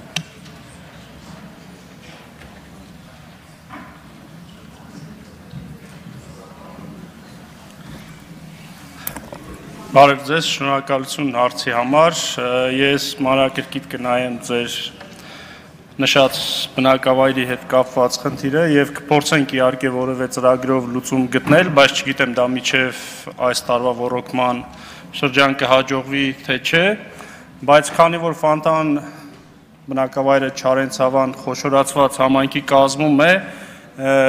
ես երբ որ թերթում էի թե որ բնակավայրերից համայնքների ինչ սուբվենցիոն ծրագրեր ենք ստացել, ես մի բան տեսա, որ Չարենցավան բնակավայր համայնքը ընդամենը 1 սուբվենցիոն հայտ է ներկայացրել կառավարություն։ Եվ ես էլ հակադարձ հարց տամ մեր համայնքի ղեկավարին եւ ավականներին։ Եթե կա նման հրատապ հարցեր, ինչի իրենք սուբվենցիոն ծրագրերով չեն ներկայացնում։ Ուզում եմ նաեւ հիշեցնել, որ Այս տարի կառավարությունը եւս մեկ քայլ արեց ընդառաջ համայնքների, հաշվի առնելով որ ռոռոկման եւ խմելու ջրի ցանցերի կառուցումը կարևոր է, կառավարության մասնաբաժինը ավելի մեծացվեց եւ կախված բնակավայրի հերավորությունից տվյալ պարագայում ֆանտանի դեպքում 60%-ը կառավարությունը կտա բայց այնուամենայնիվ հարցի լրջությունը հասկանալով ես ձեզ հետ կապ կպահեմ եւ կփորձենք ինչ-որ լուծում գտնել։ Համեցեք արձագանքի Տիկին Ստեփանյան։ Շնորհակալություն, անկեղծ ասած Ֆանտանի վարչական շրջանի հետ է եղել հանդիպումս եւ բնակիչների Չարենցավան խոշորացված համայնքի համայնքապետի հետ հանդիպում չեմ ունեցել եւ բնականաբար չեմ կարող ձեր հարցին պատասխանել, թե ինչու սուբվենցիոն ծրագրի շրջանակներում չի չեն դիմել կառավարությանը։ Միայն ավելացնեմ, որ խոսքը ընդամենը 20-25 միլիոն դրամի մասին է, որը սակայն ենթադրում է երկարաժամ երկարաժամկետ խնդրի լուծում, բնական է նաև զբաղվածության ապահովություն, ինչպես նաև կնվազեցնի որպիսի համայնքի երիտասարդները շատ չարտակախտեն, ինչպես նաև օգտվելով առիթից եւ այն հանգամանքից, որ այստեղ է գտնվում ամբողջ կառավարությունը, ցանկանում եմ Ֆանտան համայնքի բնակիչների շնորհակալությունը փոխանցել բոլորին, քանի որ Ֆանտան համայնքում 1920 թվականից չի եղել մանկապարտեզ եւ անցած տարի շուրջ 147 սանի համար մոդուլային մանկապարտեզի հիմքն է դրվել, ինչի համար ես եւս շնորհակալություն եմ հայտնում։ Ստացվում է, որ ինչքան կառավարությունը շատ ծրագրեր է անում, իրենք չեն ուզում մասնակցեն, անդադ սպասում են, որ կառավարությունը անի։ Մեր համայնքներն են, մեր խնդիրներն են, նորից եմ ասում կդիտարկեմ եւ ձեզ հետ կքննարկեմ, բայց շատ հեշտ է սուբվենցիոն ծրագրերով դա իրականացնել։ Շնորհակալություն։ Շնորհակալություն։ Հաջորդ հարցի համար Մարիամ Պողոսյան համեցեք։ Շնորհակալություն։ Հարցս նույնպես ուղում եմ տարածքային կառավարման եւ ենթակառուցվածքների նախարարին, պարոն Սանոսյան, կներեք։ Պարոն Սանոսյան, վերջերս նախարարությունը փոփոխություն իրականացրեց եւ որոշում կայացվեց, որ գազաբալոններով շահագործվող ավտոմեքենաները պետք է պարտադիր փորձարկում անցնեն։ Օգոստոսի 1-ից գազալցակայանները չեն սպասարկելու այն մեքենաներին, որոնք չեն անցել փորձարկում եւ չունեն հավաստագիր եւ մեզ մտահոգություններ եւ դժգոհություններ են հասել վարորդներից այն մասին, որ դերևս չկան բավարար թվով լիցենզավորված ընկերություններ, որոնք պետք է անցկացնեն այդ լիցենզավորումը, այդ փորձարկումը եւ ցանկանում եմ իմանալ թե նախարարությունը ինչ քայլեր է ձեռնարկում որպեսզի եւ Երևանում եւ մարզերում լինեն բավարար թվով լիցենզավորված ընկերություններ Հարցին կպատասխանի տարածքային կառավարման եւ ենթակառուցվածքների նախարար Գնել Սամոսյան համոզեք։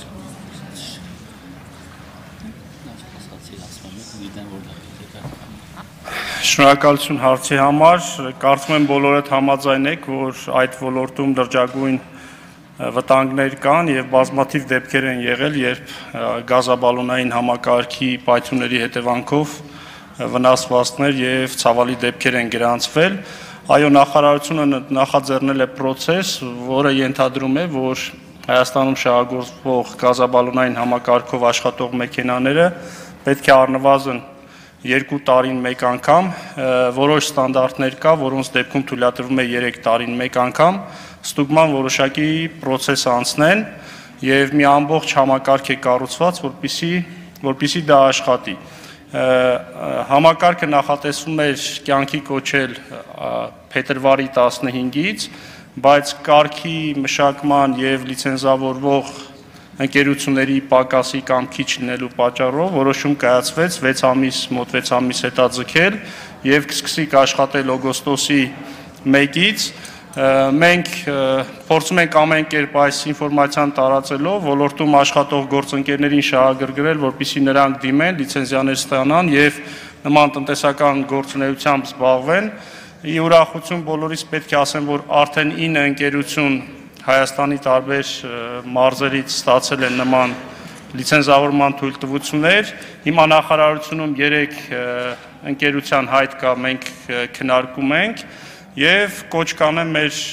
տնտեսվարողներին արդից օգտվելով, որ իրենք ակտիվ լինեն, դիմեն եւ նման գործունեությամբ զբաղվեն։ Շնորհակալ։ Արձագանք։ Պարոն նախարար, շնորհակալ եմ պատասխանի համար եւ ցանկանում եմ իմանալ, թե գազալցակայանները ինչպես են ստուգելու, որ մեքենան ստուգված է թե ոչ։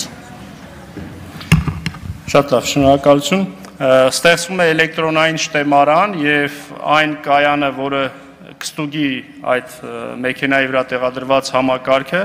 ինքը մուտք է անում էլեկտրոնային շտեմարանի մեջ, երբ որ մեքենան գնում է գազալցակայան լիցքավորելու, լցակայանի աշխատողը մեքենայի տվյալները մուտք է անում համակարգ, եթե տեսնում է այդ մեքենայի բալոնը ստուգված է, այսպես ասած, այդ դեպքում միայն թույլատրում է, որ մեքենան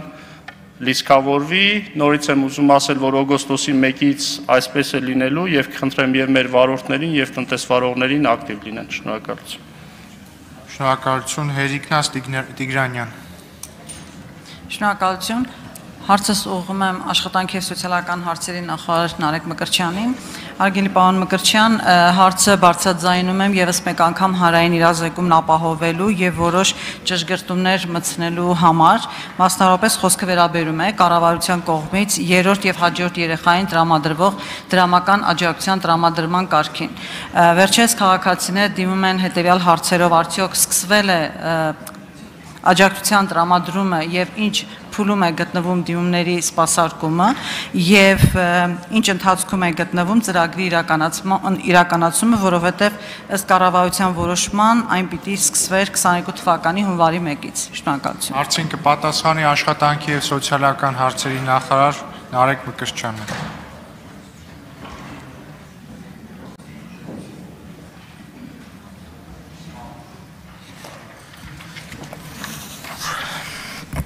Տիկին Տիգրանյան, շնորհակալություն հարցի համար։ Ասեմ, որ այո, այս նախագիծը մեր ուրեմն ժողովրդագրության իրավիճակի բարելավմանը միտված քաղաքականության համատեքստում ենք մենք նախորդ տարի ընդունել եւ հունվարի 1-ից 2022 թվականի մեկնարկել է արդեն ծրագիրը 2022 թվականի հունվարին մշակվել է արդեն ծրագրային այդ հատվածը դիմումների ընդունման եւ այսօրվա դրությամբ կարող եմ ասել, որ արդեն 1794 դիմում ունենք, որից 1350-ը բավարարվել է, մնացածը գտնվում է մշակման եւ ուրեմն սպասման փուլում եւ վստահ ենք, որ անխափան համակարգը աշխատելու է քաղաքացիների մոտ բնականաբար, քանի որ մենք դեռևս 2021 թվականի ապրիլ-մայիս ամիսներից ենք սկսել խոսել այս ծրագրի մասին, սա խոսում է նաեւ ծրագրի նկատմամբ հանրային հետաքրքրության այս ցուցանիշը մասին եւ յուրաքանչյուր ուրեմն ամիս դիմումները ստանալու մշակելուց հետո հաջորդ ամիս մենք վճարումները սկսում ենք վճարումները հիմա անխափան գնում են եւ 1794-ից այս պահի դրությամբ ընդունված դիմումներից 1350-ին արդեն վճարվել է արձագանք Շնորհակալություն տեղեկատվության համար եւ արդյոք օգտվելով կուզեի որ մի փոքր նշեիք բացի սրանից ժողովրդագրության բայլավման ուղված այլ ծրագրեր, որոնք կամ ընթացքում են կամ նախատեսում եք, որովհետեւ վերջերս մենք շատ ենք խոսում, որպես դա մեզ համար առաջնահերթություն, բայց նաեւ շատ քննադատվում ենք, որ մենք մերժեցինք ընդդիմության նախագիծը բազմազավակ ընտանիքների աջակցության մասին։ Ասեմ, որ ինչպես արդեն նշեցի, ժողովրդագրության իրավիճակի, ժողովրդագրական իրավիճակի բարելավման քաղաքականությունը մեր առաջնահերթություններից է, նաև ամրագրված է Հայաստանի Հանրապետության 2021-26 թվականի կառավարության ծրագրում եւ ավելի համալիր եւ ինստիտուցիոնալ մոտեցում ցուցաբերելու համար նախ մենք պետք է ունենանք ռազմավարություն եւ այդ ռազմավարության մշակման գործընթացը արդեն իսկ սկսված է մյուս կարևոր ծրագիրը ժողովրդագրական այսպես իրավիճակի բարելավման պարոն Նազարյանի հարցինի պատասխան, որ նշում է 2020-23 թվականների ուրեմն երեխա ունեցող ընտանիքների բնականային ապահովության ծրագիրն է, որը բավականին մեծ, այսպես դրական ընկալում ունի հանրության կողմից եւ արդեն 2021 թվականի սեպտեմբեր ամսին մենք ստիպված ենք եղել վերաբաշխում անել եւ ավելացնել ֆինանսավորումը, որովհետեւ հետաքրքրությունը բավականին մեծ էր եւ ես կարող եմ տվյալներ հնչեցնել. 2020-ից մինչեւ 21 թվականի դեկտեմբեր ընդհանուր 2364 ընտանիք ուրեմն դիմել է եւ շահառու է դարձել։ Իսկ այսօրվա դրությամբ 2022 թվականի հունվարի 1-ից մինչև 2022 թվականի մարտի 23 տվյալները 446 դիմում կա։ Իդեպ պարոն Նազարյան մենք կարող ենք այս տվյալներին նայել տեսնել սահմանամերձ համայնքի բնակիչներ կան թե ոչ ներողություն եւ վերափոխելով նաեւ նրանց ներառել ձեզ կհրավիրենք շնորհակալություն Լիլիթ Գալստյան Հարցս ուղղում եմ արտաքին գործերի նախարարին, պարոն Միրզոյան։ 2021 թվականի հունիսի 17-ին արտաքին գործերի նախարարությունը անդրադառնալով Շուշիի հրճակագրին, այսինքն հայտարարությամբ այսպիսի մի տեքստ է տարածել, որտեղ կան հետևյալ տողերը։ Տիկին Գալստյան, խնդրում եմ մի քիչ բարձր ու մոտեցեք խոսափողը ձեզ։ Կարելի է հաշվարկս նորից գնա, հա։ Պարոն Միրզոյանին է ուղղված հարցս։ 2021 թվականի հունիսի 17-ին արտաքին գործերի նախարարությունը անդրադառնալով Շուշիի հրճակագրին տարածել է մի հայտարարություն, որտեղ մասնավորապես հետևյալ հաստատումները կան։ Թուրքիայի եւ Ադրբեջանի նախագահների հրաապարակային պայմանավորվածությունները պարունակում են ոչ միայն ցեղասպան սպառնալիքներ տարածաշրջանում հայ ժողովրդի նկատմամբ, այլ նաև լուրջ մարտահրավերներ են միջազգային եւ տարածաշրջանային խաղաղությամբ, խաղաղությանը եւ անվտանգությանը։ Արցախի ժողովրդի դեմ ագրեսիայի եւ ուժի կիրառման արդյունքում ձեռք բերված իրողությունները չեն կարող տևական խաղաղության հիմք դառնալ, այնպես ինչպես Շուշիում թուրք-ադրբեջանական տարբեր մտածածի նախաձեռնությունները չեն կարող հայկական այդ մշակութային կենտրոնը օտարել Արցախից եւ հայ ժողովրդից։ Պարոն Միրզոյան, հետագայում ձեր եւ ընդհանրապես մեր պաշտոնական հռետորաբանությունը եւ շեշտադրությունը կարծես թե ամբողջովին փոխվել է եւ դուք այսօր էլ բարի խորը գիտակցությամբ հայտարարեցիք, որ ադրբեջանական 5 առաջարկներում Հայաստանի համար եւ ձեզ համար վերջին հաշվով անընդունելի ոչինչ չկա։ Ձեզ համար, ինչպես Armenpress-ի հարցազրույցում եք հաստատել, ԼՂՀ հիմնախնդիրը տարածքային հարց չէ, այլ իրավունքների։ Դուք գործածում եք Արցախահայության իրավունքներ եւ ազատությունների արտահայտությունը առանց հստակեցնելու ինքնորոշման իրավունքը։ Եվ նաև այդ այսօր հնչեց, որ դուք դիմել եք Ադրբեջանի ներկայացրել եք դիրքորոշումներ։ Թեև հարցը հնչեց, բայց պատասխան չկա, բայց ես ուզում եմ 3 հարց հնչեցնել։ Ինչ դիրքորոշում է փոխանցվել Ադրբեջանին Եվ արդյոք դուք պատրաստվում եք բանակցային գործընթացում ներառել ինքնորոշման իրավունքը եւ երբ դիմել եք ԵԱՀԿ-ին քարոշական խաղաղության պայմանագրի շուրջ բանակցություններ կազմակերպելու առաջարկով, արդյոք այդ առաջարկությունների մեջ ներառվելու է թուրքական ագրեսիայի գնահատականը, ինչպես եւ վարձկանների ներառման հանգամանքը։ Պատասխանի արտաքին գործերի նախարար Արարատ Միրզոյանը։ Տիկին Գալստյան Ես խնդրում եմ ձեզ որպես հայ մարդը, հայ մարդու եւ բոլորիդ, երբ որ մեջբերում եք անում, արեք ամբողջական մեջբերում։ Ես վստահ եմ, դուք քաջ գիտակցում եք, որ այդ նախադասությունը, որը որ մեջբերեցիք, անկախտելիորեն կապված է դրան հաջորդող նախադասության եւ ամբողջական միտքը հետեւյալն է։ Ադրբեջանի 5 առաջարկներում մեր համար անընդունելի ըստ էության ոչինչ չկա, բայց այն կամ շարահյուսական ինչպես ճաշակի այլ բան, որ այդ առաջարկները չեն հասցեագրում ամբողջական օրակարգը, խնդիրների ամբողջական օրակարգ եւ ըստ այդմ հնարավոր բանակցությունների, հնարավոր քննարկվող խաղաղության պայմանագրի ամբողջական օրակարգը։ Եվ այդ օրակարգը ամբողջացնելու համար մենք հանդես ենք եկել համալրող մեր առաջարկներով։ Նորից ես չգիտեմ արդեն քանի օր է նույն հարցին պատասխանում եմ, բայց ոնց որ չենք հասկանում իրար։ Մեր փոխանցած առաջարկները ամբողջությամբ կարող եք գտնել Armenpress-ի հիշատակված հարցազրույցում չկա առաջարկներում որևէ բան, որը գրեթե տառացիորեն արտացոլված չի այդ հարցազրույցում։ Երբ որ մենք ասում ենք իրավունքներ, մենք նկատում ենք բոլոր իրավունքները, բոլոր։ Ես ուղղակի հերթական անգամ հրաժարվում եմ այսպես բան զուտ ընդդիմության բանով շուտ ասելուկի պես կրկնել այս կամ այն բառը։ Երբ որ ասում ենք բոլոր իրավունքներ, նկատի են առնվում բոլոր իրավունքները, հա։ Այսքանը։ Արձագանք։ Պարոն Միրզոյան, ես հետևում էի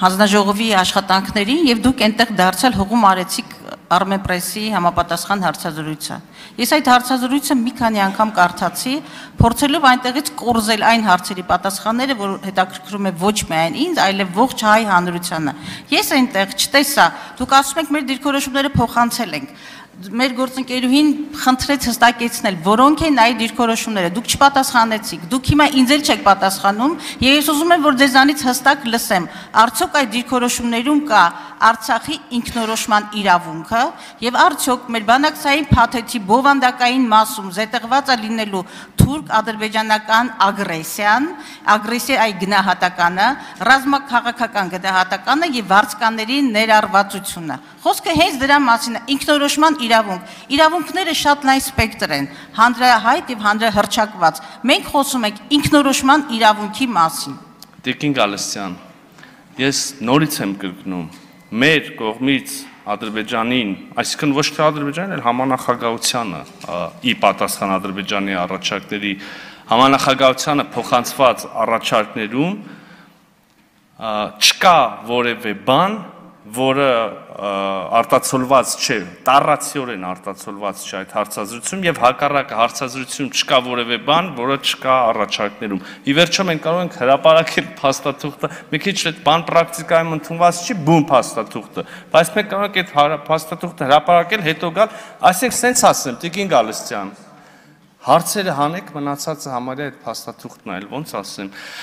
եւ եւ ուզում եմ մնացածին անդրադառնամ ուրեմն հարգելի գործընկերներ Իմ համար շատ հեշտ է եւ եթե այդ մրցավար սկսի, ես ձեզ բոլորիդ կհաղթեմ ճորոմ ռազմահայրենասիրական եւ բան գեղեցիկ բառեր ասելու մրցույթում։ Ես ձեզ վստահեցնում եմ։ Ես գիտեմ ավելի գեղեցիկ ու հայրենասիրական բառեր, քան դուք երբևէ կյանքում լսել եք։ Բայց ի տարբերություն ձեզ, ես մտածում եմ իմ բառից կարող է հետևի մի բան կամ չհետևի մի բան։ Լված չերնի, որ դուք էլ այդ պատասխանատվությամբ վերաբերվեիք։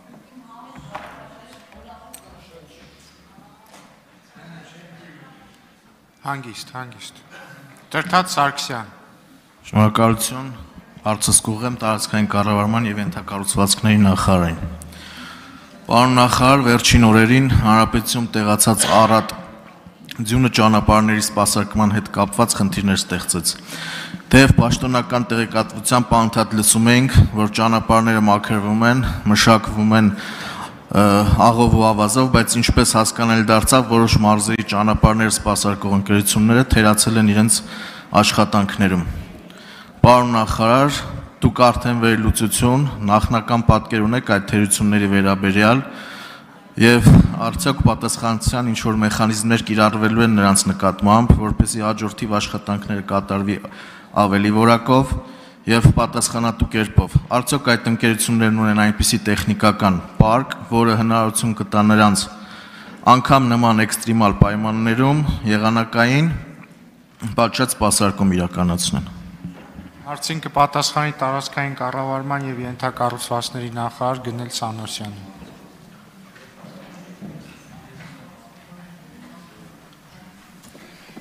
Շնորհակալություն հարցի համար Եկեք մի քանի բան ֆիքսենք։ Վերջին 40 տարում երբեք մարտանցին այսքան ձուն չի եկել։ Ինքը իրենով արդեն խնդրահարույց է։ Մյուս կողմից մենք սպասարկող ընկերությունների հետ կապված դեկտեմբեր ամսին անցկացրել ենք մրցույթներ,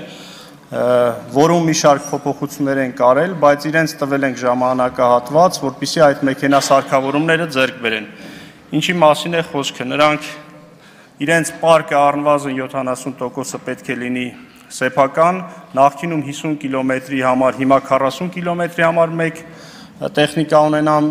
տարեթվի եւ այլ հարցեր են կարող փոխվել։ Կան ընկերություններ, որոնք մրցույթներին նոր են մասնակցել եւ հիմա իրենք այս ընթացքում ձեռք են բերում եւ այդ կարգավորումը ուժի մեջ կմտնի 23 թվականի հունվարի 1-ից։ Այս ամենի կողքին կան բավական բարեխիղճ աշխատող ճանապարհաշինարարական ընկերություններ, որոնք մեր գործընկերների հատկապես արտակարգ իրավիճակների նախարարության, ոստիկանության, մյուս գործընկերների հետ, համայնքների հետ բավական ծանր աշխատանք են անում այս օրերին եւ առիթից օգտվելով պետք է նաեւ պետք է նաեւ շնորհակալություն հայտնեմ իրենց աշխատանքի համար։ Կան արդյոք վատ աշխատող ճանապարհաշինարարներ։ Այո, ցավոք սրտի կան, առնվազն 4-5 ընկերության մասին է խոսքը։ Ես ուզում եմ նշել, որ հունվար եւ փետրվար ամիսներին որոշ ճանապարհաշինարարների վատ աշխատանքի համար իրենք արդեն տուգանվել են, կա այդպիսի մեխանիզմ, ավելի շուտ իրենց տրվելիք գումարներից պահում է արվում։ Ես մի դեպք ասեմ, միայն կապանի իմ գնալ գալը կապանի ճանշինի վրա արժեցավ 5 միլիոն դրամ, որտեվ այն ինչ իմ աչքով ես տեսա, հետո իրեն տուգանեցինք իր անբարեխիղճ աշխատանքի համար։ Եթե եթե ճիշտ եմ հիշում, մոտ 8 միլիոն արդեն տարբեր ընկերություններ տուգանվել են եւ այս մարտ ամսի տվյալները մենք ունենանք ապրիլի սկիզբ, հիմա բոլոր տեղերում տեսուչները արձանագրում են թե որ ընկերությունը ինչպես է աշխատում եւ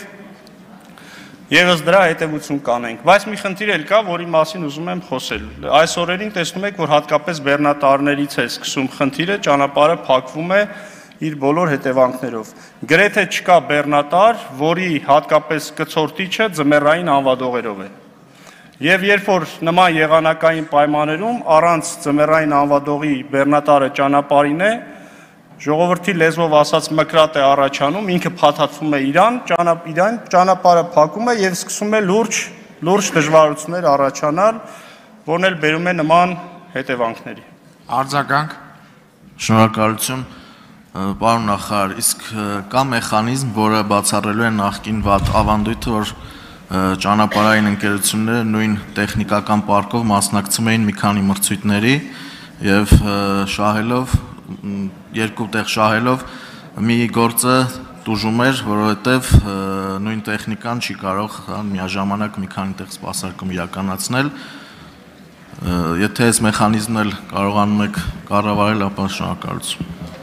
Այո, ցավոք սրտի նման մեխանիզմ կա, դա նույնպես այս տարի այդ ընդհանուր համակարգի մեջ կարգավորվող է։ Մենք մարզպետարաններ ենք ուղարկում մեր մրցույթների արդյունքները, թե որ ճանապարհաշինարական ընկերությունը մեր մոտ մասնակցել եւ ինչ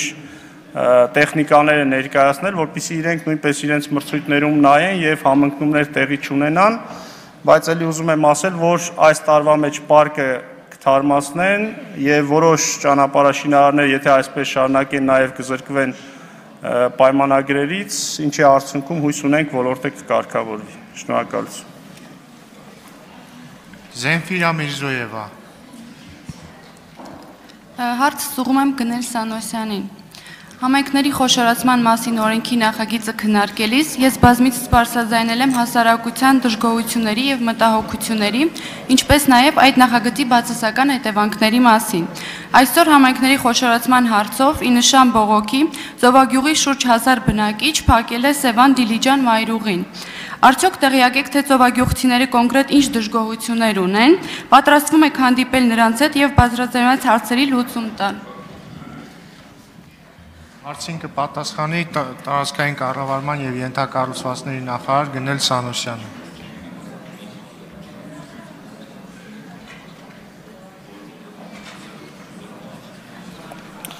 Շնորհակալություն հարցի համար։ Իհարկե տեղյակ եմ եւ ԱԺ ամբիոնը կօգտագործեմ մեր հայրենակիցներին, հատկապես ծովագյուղացիներին եւ Սեմյոնովկայի բնակիչներին, խնդրեմ ճանապարհը բացեն գնան իրենց աշխատանքին, մենք առավոտ երբ որ իմացանք այդ մտադրության մասին, այդ բայց սկսած իրենց առաջարկել ենք հետևյալը։ Հաշվի առնելով որ դա ճանապարհին քնարկելու նյութ չէ, առաջարկել ենք ստեղծել ինչ-որ աշխատանքային խումբ, կուզեն մենք կգնանք գյուղ, կուզեն մարզպետարանում, կուզեն Երևանում, ցանկացած տեղ կարող են գնալ, հանդիպել, քնարկել։ Իրենց հիմնական դժգոհությունը ինչից է եւ նաեւ ինչի են ինձանից բողոքում։ Ասում եմ, որ երբ որ ես մարզպետ էի, իրենք պետք է միայն Սեմյոնովկային միանային, բայց հետո դարձան նախարար, իրենք միացան Սևանին։ Բայց դա իմ անձով պայմանավորված չի ու պաշտոնով էլ պայմանավորված չի։ Տեղի ունեցել խոշորացման գործընթաց, տարբեր, այսպես ասած, օրինակներ կամ միացման տարբեր փնջեր են քննարկվել, եւ բոլոր գործընկերների հետ, այդ թվում նաեւ ԱԺ-ի գործընկերների հետ քննարկումների արդյունքում հանգել ենք այն մտքին, որ գնում ենք ավելի խոշոր միավորների, այն է գրեթե սովետական շրջանները ստեղծելու տարբերակում։ Դրա համար փոխվել է իրենց տարբերակը եւ իրենք միավորվել են Սևան համայնքի հետ, բայց այդպես եղել է ամբողջ հանրապետությունում, այսինքն որևէ առանձնահատուկ դրսևորում չկա, ինչ ինչ ուղղությամբ վարվել ենք այլ այլ տեղերը, այնպես էլ վարվել ենք Ծովագյուղում եւ այդ տարբերությունը ընդամենը դրանից է, որ հետո որոշում կայացվեց ավելի խոշոր միավորումներ ստեղծել։ Սա է հիմնականը, նորից խնդրում եմ իրենք ճանապարհը բացեն, գնան իրենց աշխատանքներին, իսկ այն մարդիկ, ովքեր կուզենան խմբով աշխատել, քննարկել, պատրաստ են քննարկման։ Արձագանք Բայց կոնկրետ ինչ լուծումներ եք առաջարկում այդ մարդկանց։ Մեր Մենք հստակ ինչ ենք կարել։ Վերել ենք կառուցվածք, թե ինչպես վարչատարածքային ինչպիսի վարչատարածքային բաժանում ենք ուզում անել։ Դրա հետ կապված եղել են մի շարք քննարկումներ տարբեր հարթակներում, ինչ համայնքներում, ինչ հասարակական սեկտորում, ինչ նաև ազգային ժողովում եղել են լսումներ։ Այդ ամենի արդյունքում կա վարչատարածքային բաժանման այն տարբերակը, որը հիմա կա, եւ կառավարությունը կարծում է, որ այդ տարբերակը փոխելու կարիք ու անհրաժեշտություն չկա, ելնելով նաև նրանից, որ արդեն այս ամիսների փորձը ցույց է տալիս, որ այդ խոշոր միավորները իսկապես իրենց արդարացնում են, նաև այդ խոշոր միավորներից եկող սուբվենցիոն հայտերն են դա ցույց տալիս։ Ինչ վերաբերում է Սովագյուղի մեր հայրենակիցների այն մտահոգությանը, որ իրենց գումարները կարող է ծախսվեն Սևանում ոչ իրենց մոտ, արդարացված մտահոգություն չի, որտեղ ես կարող եմ պատասխանատու կերպով ասել, այն բոլոր գումարները, որ վերջին տարիներին ծախսվել են Ծովագյուղում, հիմա նորից կծախսվեն Ծովագյուղում, բայց ավելի շատ։ Ինչու, որովհետև իրենց խոշորացման արդյունքում հնարավորությունները մեծացել են։ Այսինքն դա թյուր կարծիք է, որ միավորման արդյունքում իրենց համայնքը կարող է տուժել։ Չի տուժի եւ բազմաթիվ նման օրինակներ կա։ Շնորհակալություն։ Արամ Վարդևանյան Շնորհակալություն նախ օգտվելով այն հանգամանքից, որ հարցու պատասխանի նկատմամբ կա նաև Հայաստանի Հանրապետության տարածքից դուրս հետարկրություն, առաջին մասով կցանկանամ կրկին բարձրաձայնել Արցախի Հանրապետությունում ստեղծված իրավիճակի մասին, միջազգային հանրությանը, ԵԱԿ Մինսկի համանախագահող երկրների ձևաչափով անդամ երկրներին ուղղակիորեն հստակ նույնիսկ պահանջ դնելով այս իրավիճակին րոպե շուտ վերջ տալ որտեղ մենք խոսում ենք Արցախում հումանիտար աղետի մասին, մենք խոսում ենք абսուրդային, անընդունելի եւ միջազգային իրավունքի տեսանկյունից հանցանքի մասին, որը տեղի է ունենում 100 հազարից ավելի Արցախի հանրապետությունում բնակվող մեր հայրենակիցների նկատմամբ։ Հարցադրումս հետեւյալն է. 2021 թվականի հունիսի 15-ին ընդունվեց իսկապես տխրահրճակ Շուշիի հրճակագիրը։ Հարցս ուղղված է արտաքին գործերի նախարարին։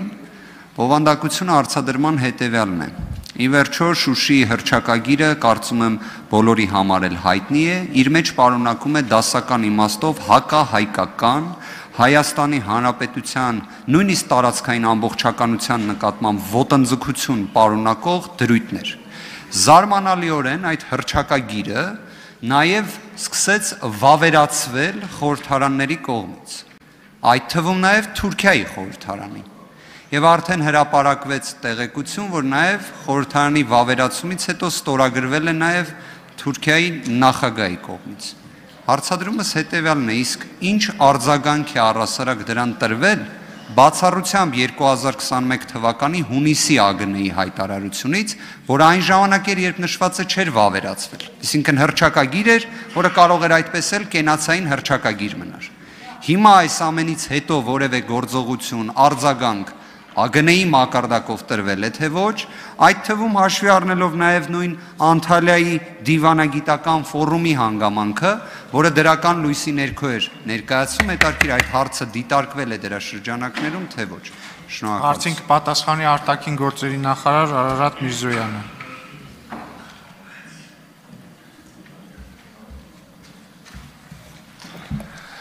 Հայաստանի Հանրապետության դիրքորոշումը Շուշի հրճակագրի շուրջ կապակցությամբ որևէ փոփոխության չի ենթարկվել, պարոն Վարդևանյան, ավելին ասեմ, անդրադառնամ նաև ձեր հարցի ներածական հատվածին, իսկապես մենք տեսնում ենք արդեն որերորդ անգամ ճիշտ այնպիսի քաղաքականության դրսևորումներ, որը որ դուք նկարագրեցիք, եւ սրան ոչ միայն Հայաստանը, այլև միջազգային հանրությունն է անդրադարձել եւ անդրադառնում եւ կարծում եմ տեղին է հիշատակել նույն Հաագայի դատարանի միջանկյալ միջոցների վերաբերյալ որոշումը, որտեղ շատ հստակ Ադրբեջանի բարձրաստիճան պաշտոնյաներին կոչ է արվում դադարեցնել այդ քաղաքականությունը։ Մենք տեսնում ենք դրա օրինակները բազմաթիվ դեպքերում, ինչպես մշակութային հուշարձանների վերաբերյալ, ինչպես հիմա այս օրերին, երբ որ հումանիտար ճգնաժամ է առաջանում գազի հետ կապված իրավիճակում, անշուշտ այդ ամբողջը կա եւ այդ ուղությամբ ենք աշխատում եւ եւ այդ եւ իրավիճակը եւ հնարավոր զարգացումները մեր բոլոր անխտիր բոլոր միջազգային շփումների հանդիպումների հիմնական առանցքն են, այլ բան չի կարող լինել։ Արձագանք Շնորհակալություն, կարևորում եմ այն, որ վերահաստատում եք 2021 թվականի հունիսի հայտարարության դրույթները, որովհետև Նաև ձեր քաղաքական թիմը ԱԳՆ-ի այդ ժամանակահատվածի աշխատանքը բավականաչափ քննադատողական դիրքերից էր հանդես գալիս, բայց չեք կարծում միաժամանակ, պարոն Միրզոյան, որ եթե այդ հրճակագրի գնահատականը տրվել է դեռևս դրա զուտ հրճակագրի մակարդակում, երբ այն վավերացվում է, մի հատ էլ ստորագրվում է, ինչ որ իմաստով մտնում է ուժի մեջ ավելի բարձր իրավաբանական մակարդակի, դրան չպետք է արդյոք հաջորդի մեկ այլ դիրքորոշում։ Եվ արդյոք դրանով նույն Ադրբեջանի եւ Թուրքիայի վարկագիծը հենց նաեւ ձեր կառավարության ծրագրում մատնանշված այդ խաղաղության օրակարգի իմաստով ճիշտ հակառակն են անում։ Ես կարծում եմ ցանկացած մարդու համար էլ պետք է տրամաբանական եւ ընդունելի լինի այն, որ խաղաղությունը միակողմանի չի լինում։ Եթե մյուս կողմը նման հակառակ ազդակներ է տալիս, ես չեմ ասում դրա այլընտրանքը պատերազմն է, բայց արդյոք դրան որոշակի համարժեք արձագանքներ չպետք է տրվեն։ Շնորհակալություն։ Իհարկե լուրջ տրամաբանություն կա ձեր ասացի մեջ, պարոն Վարդևանյան, այստեղ կարծել չկարծելու հարց չի, այլ շատ հստակ հաշվարկների մենք պետք է հասկանանք, թե ել ավելի դատապարտող, այսպես պայմանական կոչենք, ել ավելի սուր գնահատական տվող հայտարարությունը ինչ է ավելացնելու եւ ում օգտին այս խաղի մեջ, եթե սա կարելի է խաղամանել։ Սերգեյ Բագրատյան։ Շնորհակալություն։ Հարգելի կառավարություն, մարտի 10-ին ՄԱԿ-ի գլխավոր քարտուղար Անտոնիո Գուտերեշը հայտարարեց, որ այլևս Ուկրաինայի հակամարտությունը խաթարում է մատակարարման շղթաները եւ պետք է կանխենք սովի փոթորիկը իր բարերով եմ ասում եւ նշել է նաեւ որ համաշխարհային պարենային համակարգի փլուզում է տեղի ունենում սա բնականաբար ուղերձ է աշխարհի բոլոր երկրներին եւ բոլոր կառավարությունները հետեւություններ պետք է անեն այս իրավիճակից այն բոլոր նախաձեռնությունները եւ այն բոլոր միջոցառումները, որ արվում է Հայաստանի Հանրապետության կառավարության կողմից, մեզ համար տեսանելի եւ ընկալելի է։ Բայց շարունակականության մեջ եւ պատերազմի երկարատևությունը որևէ մեկը չի կարող կանխատեսել, արդյոք մենք պետք է լրացիչ հնարավորություններ չքննարկենք, մասնավորապես։ Շուտով ռոռոկման համակարգի սեզոնը սկսում է եւ գյուղատնտեսական սեզոնի հետ կապված Սևանից ջրարի հարցը քննարկելու ենք, թե չէ։ Ի նկատի ունեմ նախորոք մենք այս խնդիրները քննարկենք, որ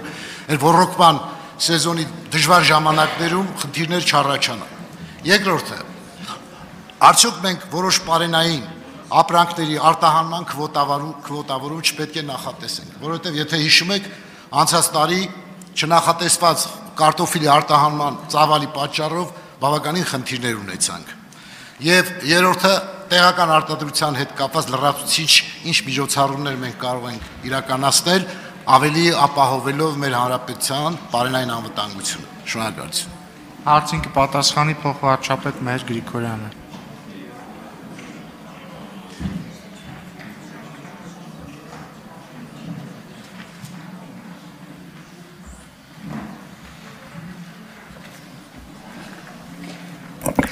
Շնորհակալություն հարցի համար, պարոն Բագրատյան։ Իրոք շատ կարևոր հարց է եւ իրոք բոլոր թվարկված գործողությունները ընդգծված պետք է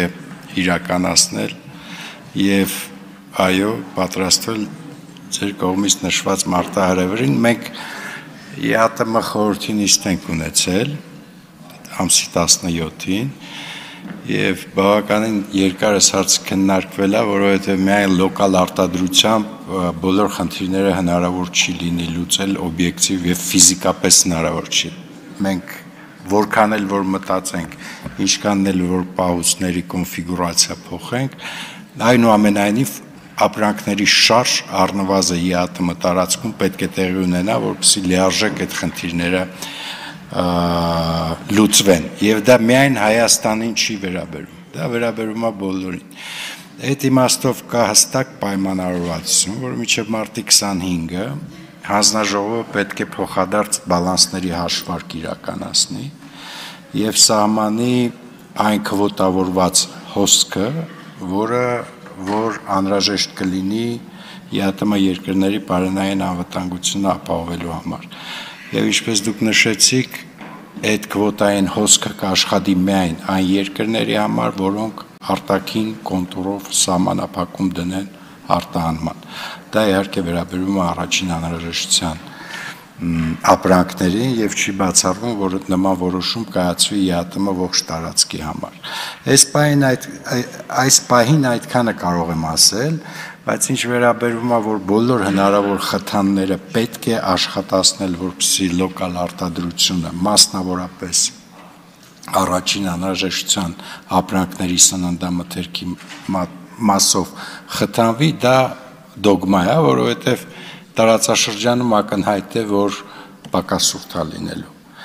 եւ ոչ թե արտադրության պակասուրտի հետևանքով, այլ լոգիստիկ եւ տրանսպորտային խնդիրների առաջերտին։ Բայց ես կարծում եմ, որ խնդիրը կառավարելի է եւ լուծելի է եւ այս պահեդրությամբ կարող եմ վստահ ասել, որ ԵԱՏՄ երկրները շատ կոնսոլիդացված են այդ հարցը քննարկում։ Շնորհակալություն։ Արձագանք Պարոն Գրիգորյան, շնորհակալ եմ համապարփակ պատասխանի համար, որովհետեւ ես ինքս շատ մոտ եմ մտածում ձեր ասած